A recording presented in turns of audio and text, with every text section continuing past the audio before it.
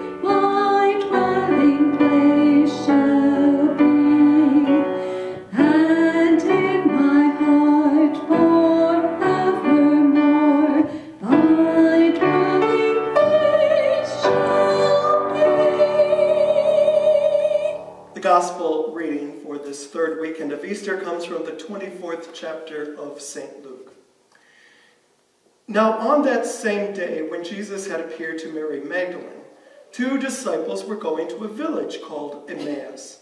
It was about seven miles from Jerusalem, and they were talking with each other about all these things that had happened.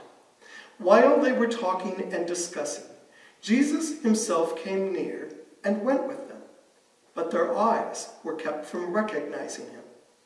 Then he said to them, What are you discussing with each other while you walk along? They stood still, looking sad. Then one of them, whose name was Cleopas, answered him, Are you the only stranger in Jerusalem who does not know the things that have taken place there in these days? He asked them, What things?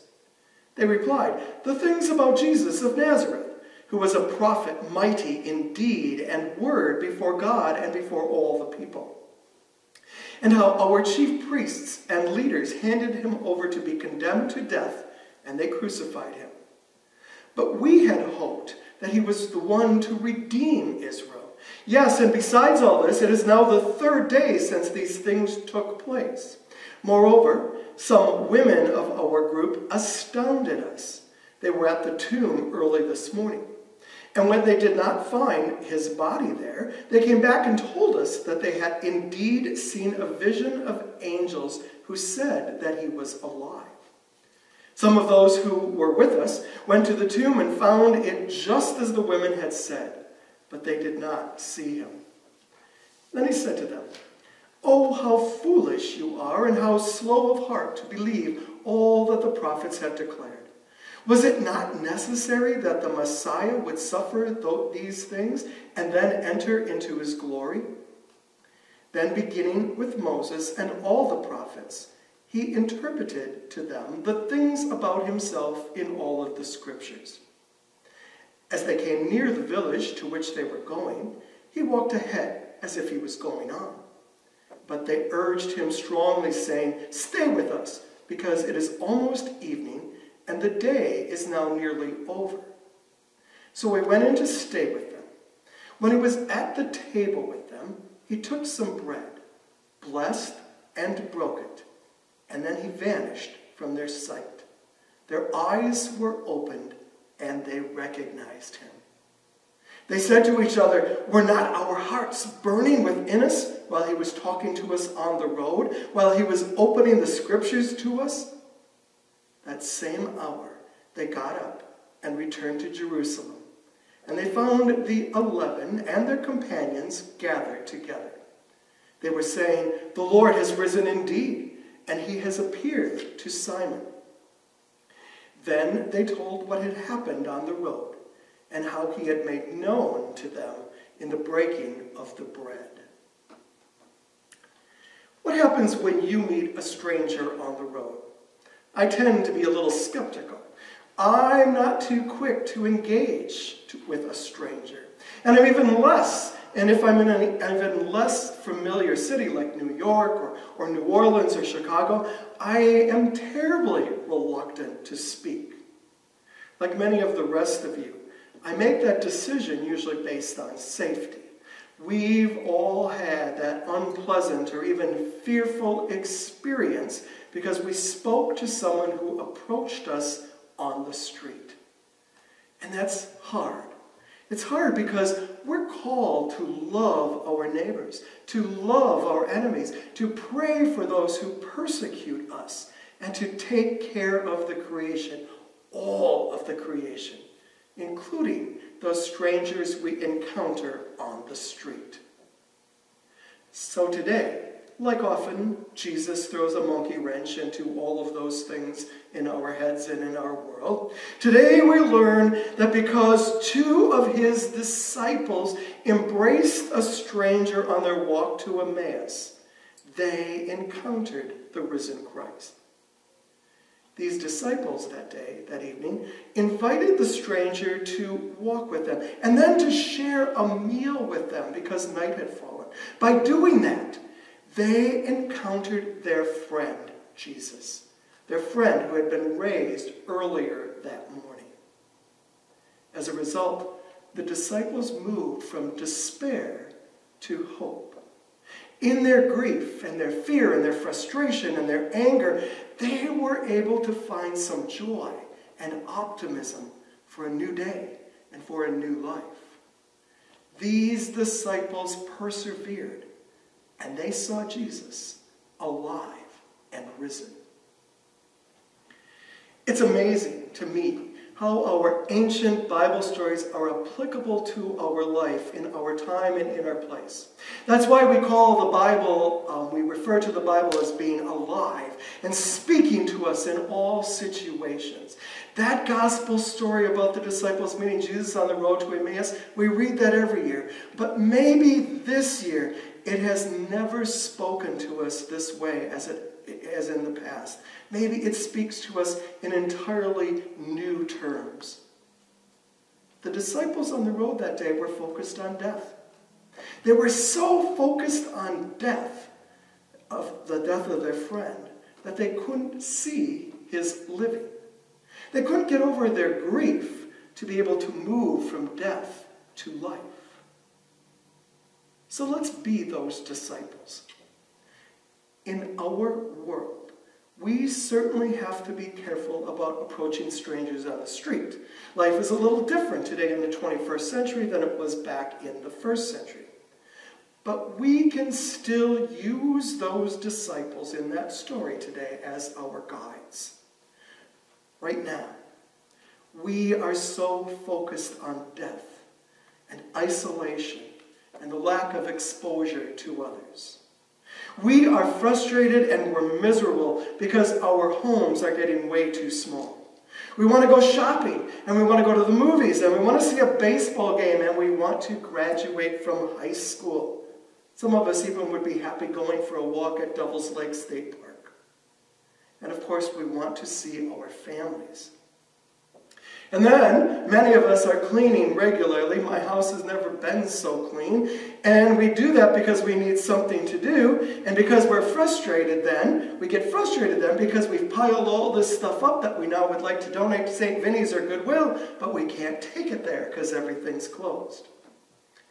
Like the disciples on the road that day, our focus has been on death and despair. So I want to invite you right now to open your eyes. When we took youth on Youth Works mission trips around the country in Puerto Rico and many places, Canada, every evening on those trips, the entire group, about 80 folks, kids mostly, would gather for devotions. And every evening of the week, those devotions started in the very same way we were all asked to voluntarily share how we saw Jesus during our day. Oh, yeah, some of the answers got a little crazy. Never from Lakeview kids, of course. But most answers were filled with hope and with enlightenment, even in the midst of some very difficult and some very impoverished situations where we had been working. So I'd like to take that question from YouthWorks and pose it to you right now. Where have you seen Jesus? This pandemic and the safety guidelines suck. But as you participate in this worship experience today, either by Facebook or Vimeo or YouTube or via your email accounts, I want you to think about at least one way that you saw Jesus yesterday. How were you, your eyes opened yesterday? Opened like the disciples on the road to Emmaus to see a risen Christ. And I want you to respond. Yeah, there's some homework here this week. If you are accessing this service on Facebook, I want you to go below a little later on and post a response about how you saw Jesus. Let's take some time and share our hope-filled experiences with each other. Let's help each other remember today that it is all not about despair. There is much hope and there is much encouragement out there. Let's remember life. Let's remember that Jesus is walking with us right now in many unusual and in many out of the ordinary ways. Post your experiences on Facebook or email your experiences for, to me, and I'll share them on your behalf. So I'll begin today by sharing. I'll share some hope filled sunshine because it's beautiful outside as we record this right now. While the total number of people who have had COVID 19 in our country is the highest in the world, and the number does continue to go up, and while the number of deaths in the United States is staggering, look at this data. And I'll admit that this data will have changed by the time you hear this sermon. But in the state of New York, the worst hit spot in our nation, on April 3rd, 363 people entered ICU beds in that state. On April 8th, that number had dropped to 140. And I continue to watch Governor Andrew Cuomo every day, and that number continues to drop daily. Over in Vermont, an elementary school teacher was exposed with the, to the virus, and the custodial staff was called in to completely clean and disinfect the building where he had been. Now, a mother of, of, the students wanted to do something to recognize those custodians who had to come in and clean. And so she started a fundraiser. She had a goal of raising $200, but that didn't happen. Because instead, $7,500 is what was raised. And each one of those eight custodians received nearly $1,000 as an appreciation gift. I'm seeing Jesus in the doctors and the nurses and the healthcare workers and the emergency services personnel and in every American who is diligently adhering to the COVID 19 guidelines to help lower that curve. Now it's your turn. Post away. Email as frequently as you wish. How have your eyes been opened to see Jesus? Amen. As we sing the hymn, The Easter Day with Joy Was Bright, the words will appear on your screen.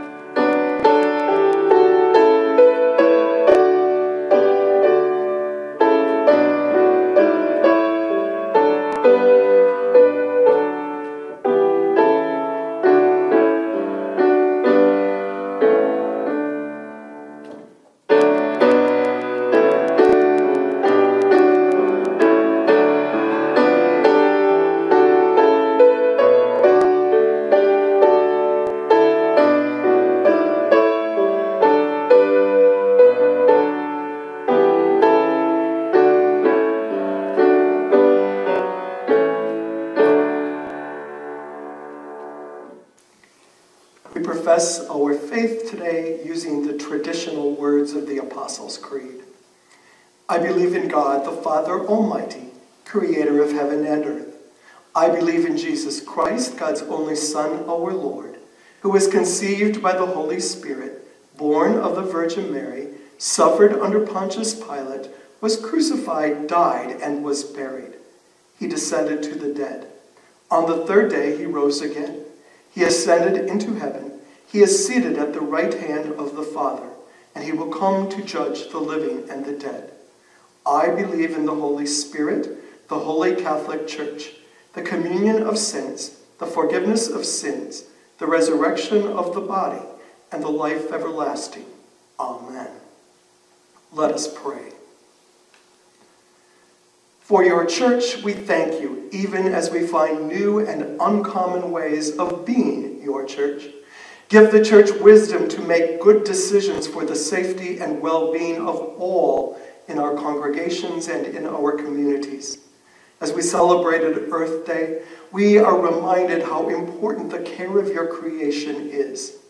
The universe is a beautiful and amazing gift to have. Open our eyes and hearts to preserve and protect it. Be with all those who have recently been the victims of storms and flooding. We give thanks for all farmers who will tend the land and grow the crops. Keep them safe and guide us to share our food resources with those who are in need. We lift to you all those who drive truck and carry that food to stores. Protect all people working in the grocery industry. We lift to you all healthcare workers. Thank you for the gift of medicine and science and for our opportunity to use those gifts to preserve life and health. Give us the wisdom to stay at home to keep those frontline workers safe and to not overwhelm our hospitals. As we are anxious about economics, give us knowledge to make decisions that continue to protect and prevent. Give courage and resources to those who are struggling financially or without employment. In the midst of this difficult pandemic, open our eyes to be able to see you in the odd and in the unusual and keep our minds focused on the hope of the resurrection. We pray for all who grieve today. We pray for all who struggle with emotional and physical health, including Georgia and anyone else whom we now name out loud or in the silence of our hearts.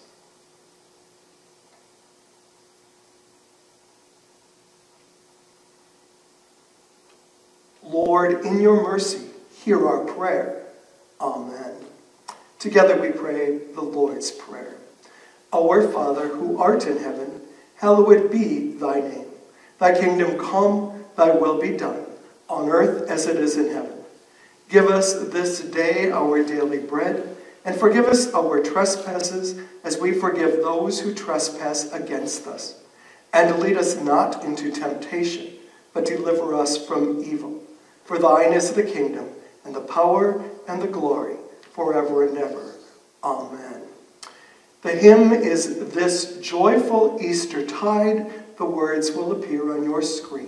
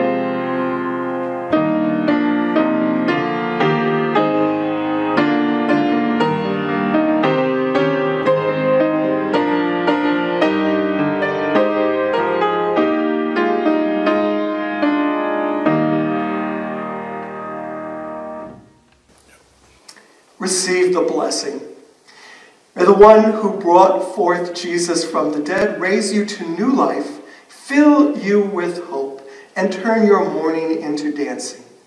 Almighty God, the Creator, Redeemer, and Sustainer, bless you now and forever. Amen.